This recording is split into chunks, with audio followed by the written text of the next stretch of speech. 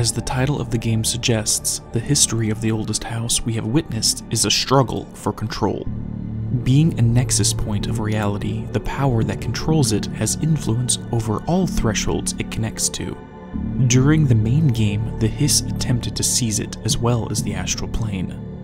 Hedron and Polaris stood in opposition to this invasion, with Director Trench on one side and Dr. Darling on the other, these extra dimensional entities were responsible for a civil war between the two former friends.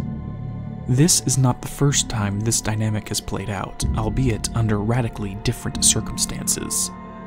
Unlike the events of Control, the previous war did not result in outright conflict. Instead, it was a Cold War with Director Northmoor representing one side and Dr. Ash on the other. The details of this conflict are still not fully known. This is due to various attempts to hide any information related to what exactly happened in the Foundation 50 years before Jesse entered the oldest house. To get a clearer picture, we will have to look back to when the Bureau first made this remarkable discovery. This story is broken into two parts. In the first, the Bureau was welcome in the Foundation. In the second, they were banished from it. Let us examine both factions leading up to this departure to get an understanding of what led to it. Dr. Theodore Ash Jr., the son of the former director, was one of the first across the threshold. With the new director on his way from Washington, Ash started to work to determine the nature of this place of power in order to give a report. One point of interest was a great pillar discovered in the crossroads that would later become known as the Nail. He'll expect answers, which is why I'm making these tapes. They're evidence that I'm at least trying to understand. Father searched his entire life for something like this, and we find it one week after he's buried. He always hated irony. Of course, Father, the great director, Ash, would have been the first man in. And look at me, his bookworm son the supposed head of research who can't stop his legs from shaking long enough to step over the threshold. Soon after the arrival of Director Northmoor, something changed in the Foundation that would alter the course of the Bureau's history. Northmoor even made a discovery. A pistol, placed on a stone pedestal in front of that strange ebony pillar. Seems like something out of a storybook, except the heroes usually find swords, not handguns but it is the perfect lure for someone like him. Hours after finding this weapon, Northmoor cornered me to spout some nonsense about how the board had made him the director. He ran it about the title being meaningless before now, calling Father and all other previous directors shams, frauds, and worse. I think this place is worse for Northmoor than it is for me strangest thing? There was no pedestal in front of that pillar a day ago. This building has swallowed a dozen of my men, and now it's handing out presents? Is it playing some sort of game? If it is, we're most certainly losing. Oh, we don't even know the rules. The distinction between their personalities are shown here, Dr. Ash wishes to understand the essence of the Foundation and now the mystery of the board. Director Northmoor's personality keeps him ignorant, not caring about the who, what, or why as long as the board continues to facilitate his power. As the weeks go by, Dr. Ash makes further discoveries surrounding the nail, and Director Northmoor insists that the Bureau be known as the oldest house. This is the beginning of the board's influence attaching itself into the Bureau's DNA. While the director continues to be directed by these extra dimensional entities, Ash has a breakthrough. I spend my days investigating that odd pillar where Northmoor found the handgun. The work was half-hearted at first, I admit. But then I discovered numerous non-Aristotelian energy channels converging at its base ley lines, dragon roads, Hyligalinian, call them what you want. But this pillar is the crossroads. I started building something. Equal parts talisman and technology. An array that can impose order on the ley junctions. That's the idea, at least. We'll see when I'm done. I prefer to work away from the pillar. I'm not the only one who feels like that thing has eyes. Based upon this, it appears the board is keeping a close watch on Dr. Ash and the work he is doing. Some of the researchers under him have negative responses to this unseen presence. My research staff complain of a presence watching them. Many have suffered nervous fits. Some were evacuated. While working in one of the deeper caverns to avoid the gaze of the nail, a new form of life was discovered. One that seemed interested in the work he was doing. In cheerier news, I've made some new friends. I met them while exploring the deeper caves. They're hard to describe, but imagine avant-garde sculptures of humans. I call them the id. They aren't hostile. In fact, they're polite and quiet, which is more than I can say for my colleagues. Most id are shy, but a few are quite curious. While I sat taking notes, one came to look at my sketches. I offered him my pencil, but that spooked it. What are the id? Residents? Prisoners? They remind me of the golems from Kabbalistic texts, or a type of homunculi. I know I shouldn't, I gave them names. There's Hercules, Adam, Lilith, Copernicus. Mabel is the bravest. They're a funny bunch. I will go into further detail on the nature of the id in another video, but for now, let's summarize and say they are physical beings that are extensions of the board's will. Mindless creatures that approximate the appearance of humans. During this meeting, they were curious about what Dr. Ash was working on, the progress of his research.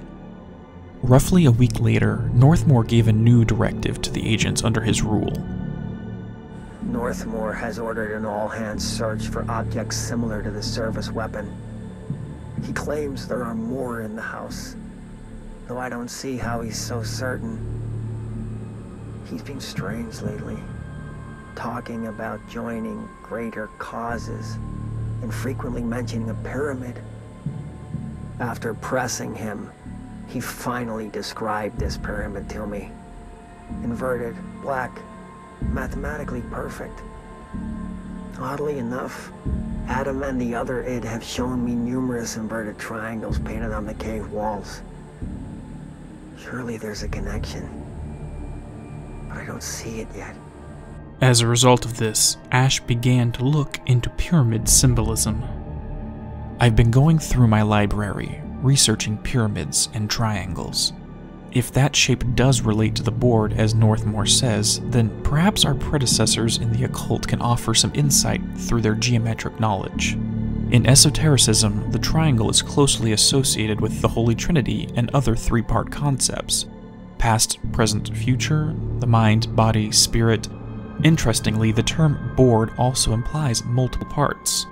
Upright triangles in Judeo Christian imagery indicate ascent into the rational slash divine realm.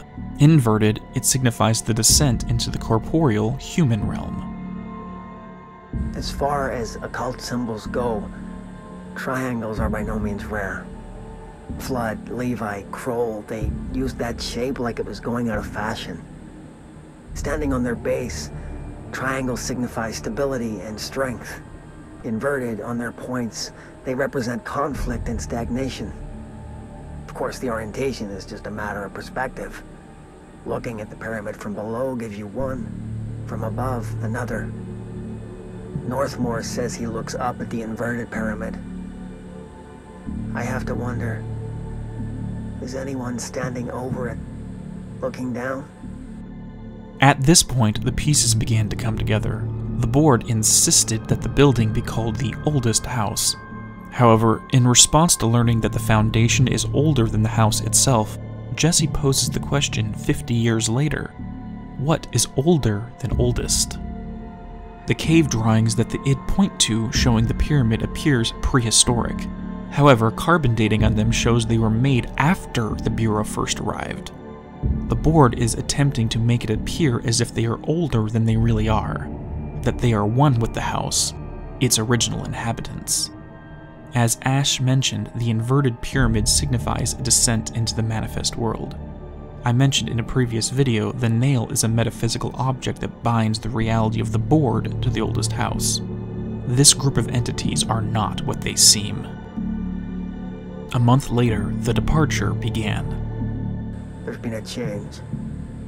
Hercules and Mabel. I mean, it numbers 3 and 11 attacked my staff today. Two fatalities. Three, if you count Mabel. She was always so kind. As a result, we are abandoning the Foundation. Northmoor gave the order to transfer our resources to the upper floors, now that my control points allow us to safely come and go from the New York streets. Up until this point, the id were curious about what the head of research was doing, but docile. Once the board determined him to be a threat, they dispatched the id to cause chaos and give an excuse to abandon the research. By this point, Director Northmoor was soundly in their pocket, drunk on the power they gave him. He gave the orders to leave and grew aggressive to anyone who disobeyed the board's wishes. Let's read the final warning to get an idea of how far Northmoor had fallen. To Director Theodore Ash, Jr., as director of the Federal Bureau of Control and chosen representative, liaison, and benefactor of the great authority of the board, I demand your immediate withdrawal from the Foundation. Prior memos issued broadly to Foundation staff called for swift reassignment of all personnel to the upper floors of the House. All staff complied except you. This demonstrates a lack of respect for my office and the board itself. This is their house, and we are their guests we should conduct ourselves accordingly. Normally, such insubordination would be grounds for dismissal, but out of respect for your late father, consider this instead my final warning. The board and Director Ash chose me as successor to the office, and no amount of petulance will change that. Indeed, your actions seem to suggest you know better than myself, and by extension, the board. Permit me to assure you that that is not possible.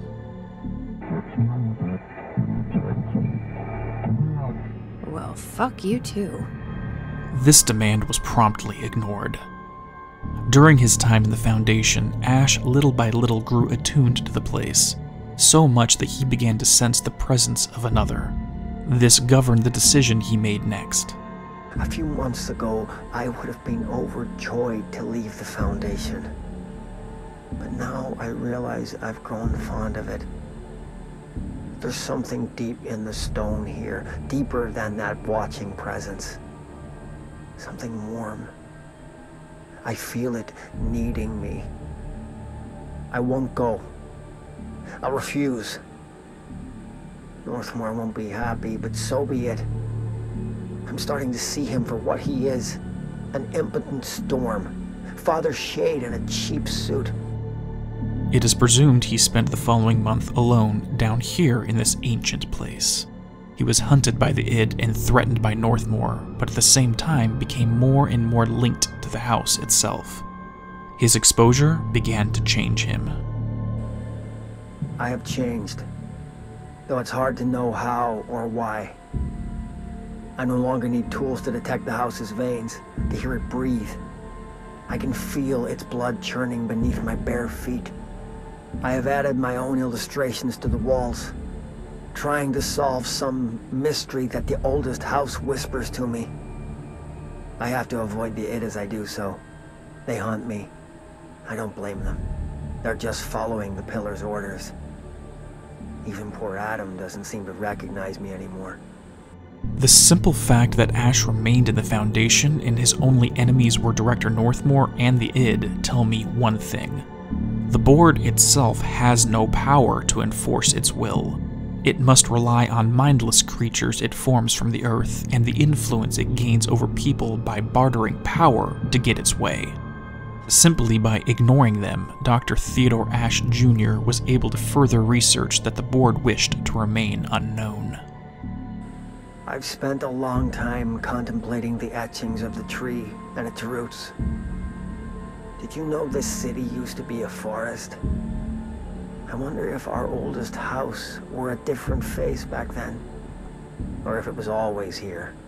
A 21st century office building since time immemorial. Can a place know the future?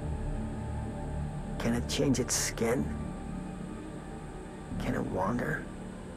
I always thought the esoteric world was my father's, not mine. But here, in this sacred place, I finally understand his devotion and his awe. In one report, he elaborated on this line of inquiry. The oldest house has revealed much to me during my months in the Foundation, but many questions remain. Primarily, the tree etchings bewilder me. What is their significance? If the house has changed shape over its lifetime as I've theorized, then was a tree its first form? I sent a team to the Schwarzman building in search of pre settlement accounts of Manhattan Island. From those, I discovered a single relevant line. And there I found a tree not known to me, the devil twisted in its bark. With this seed planted, the good doctor began to see the man behind the curtain. An attribute of the oldest house is that no one can find it unless they are looking for it or are invited. The simple fact that the Bureau happened to stumble across it means that they were invited. Over the course of his time in the Foundation, Dr. Ash began to believe two things. One, that the board was simply a parasite latched onto the house. And two, the oldest house called out for help, but the Bureau did nothing. Without knowing it, the Bureau found themselves caught in the middle of a conflict extra dimensional in nature. One that would cause a war between the director and head of research. With a blind man sitting in the director's chair, Dr. Theodore Ash Jr. made one final decision that would dictate the rest of his life. He would fight a cold civil war alone, leaving a trail that would be uncovered 50 years later. If he could not end this conflict in his lifetime, he would ensure that someone in the future will. Nobody else hears the house. Their ears are too full of lies. We were shown the way inside so we could help. But all we've done is fall victim to the same parasite. I should have seen the web earlier. The strands between Northmoor, the pillar, the gun, the id. What hope did we have? Thrown into this conflict beyond our comprehension. I've decided to rejoin the Bureau in the upper levels, to end my long absence spent in the Foundation. Northmoor will be angry at me for disobeying him. That's just his way. But I don't care. I need to remain in the oldest house to help however I can. I doubt I can steer the Bureau back on the right course, but I have to try. How did I go so long without a purpose? Without devotion? I can hardly remember how it felt. I realize how grateful I am to Father for setting me on this path. I wish I could tell him that.